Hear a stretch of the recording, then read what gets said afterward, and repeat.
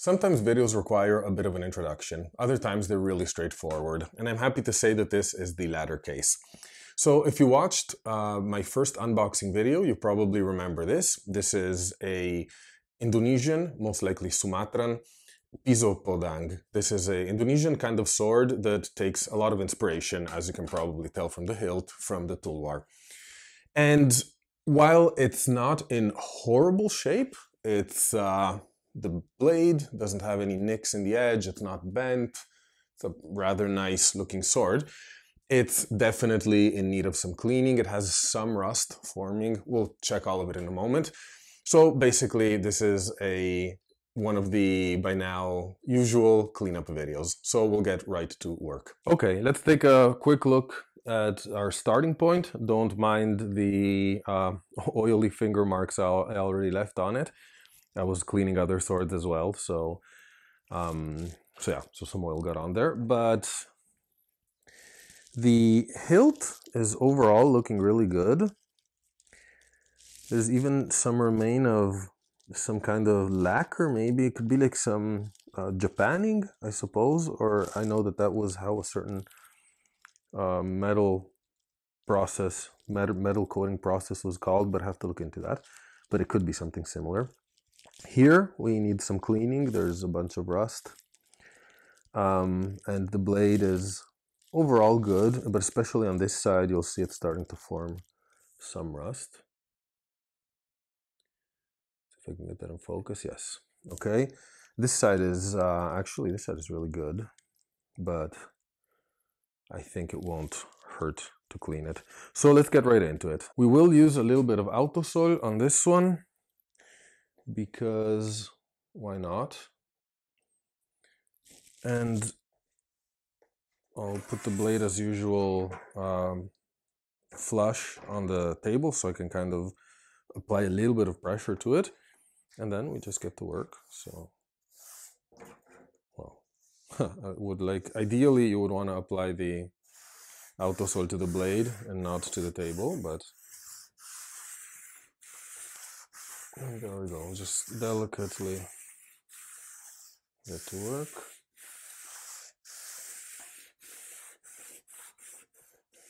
Here you'll see there's a little bit of uh, paint residue. So hopefully that comes off by simply by cleaning and I don't have to then go with a like chisel or something to get it off.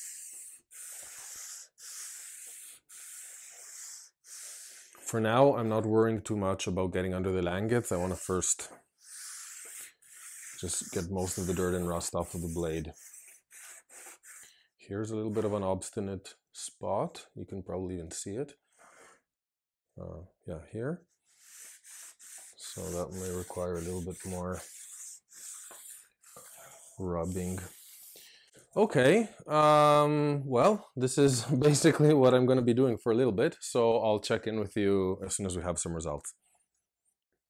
So with a bunch of cleaning done, I wiped away a little bit of the muck and dirt here, and I think I'm going to stop here, and the reason why is that you can see the I hope you can see. I don't know why light today is so weird, but you can kind of see the um, here where the there's a very shallow fuller.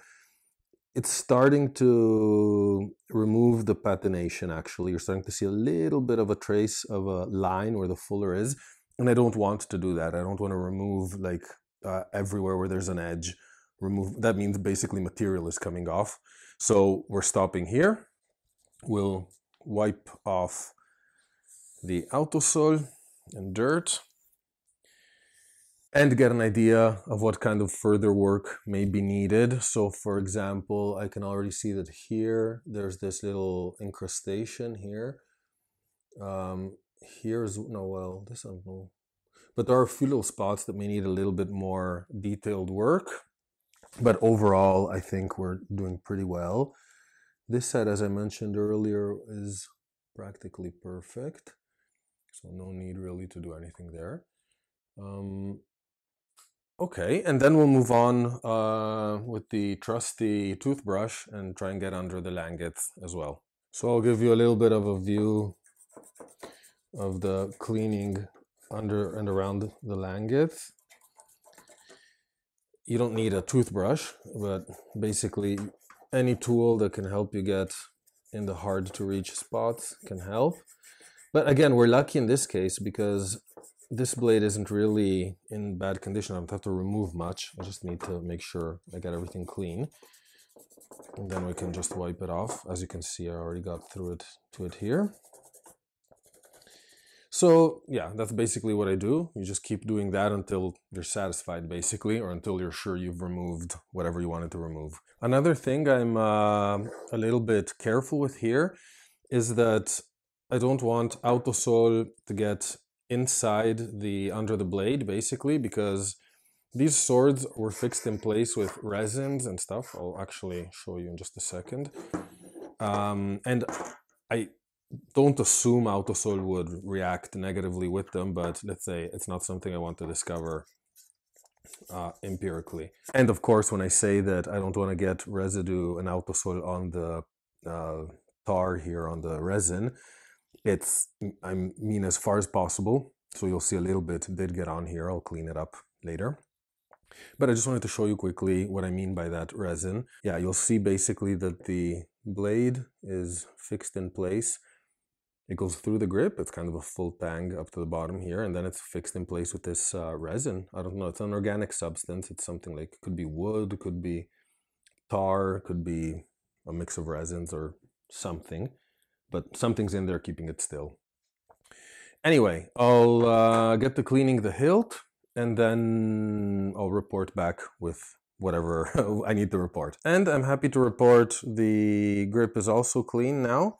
Uh, I was very delicate with this. I just used oil. I don't want to remove any of that uh, lacquer or whatever it is that um, we noticed earlier. So uh, it's a little overly shiny now. I have to remove a little bit of excess oil.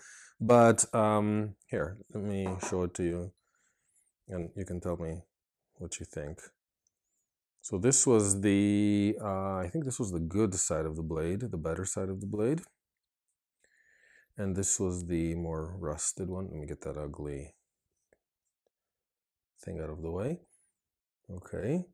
Um, I wanted to show you when I mentioned how the um, patination starts coming off if you wipe too much. You'll see it starting to kind of happen here. So it kind of starts, you start seeing the shine of steel underneath. And this is something I wanted to avoid because what happens next is you don't notice it and you start like cleaning somewhere where you feel it's really dirty and then when you wipe everything off you have like a section that is uh, shiny steel and everything else is patinated and that just looks really ugly. So now I have a question and this is, uh, it's open to everyone of course, so feel free to reply in the comments. Uh, don't feel you need to be an, expert, but it's especially open to who has experience with these weapons and with um, standards of preservation for this style of weapon. So what would you do in this case? Would you clean it up more to bring out the shine of the steel? Or is this uh, lovely black patination something that you think is sufficient for this piso podang? I'm uh, leaning heavily towards the leaving it as it is. Uh, I think it looks beautiful the way it is. It has all of its history, but I'm just wondering what any, what other uh, points of view and what others of you would do. So let me know in the comments. Uh, I hope you enjoyed it. Thank you for watching and I'll see you soon in the next sword video. Bye.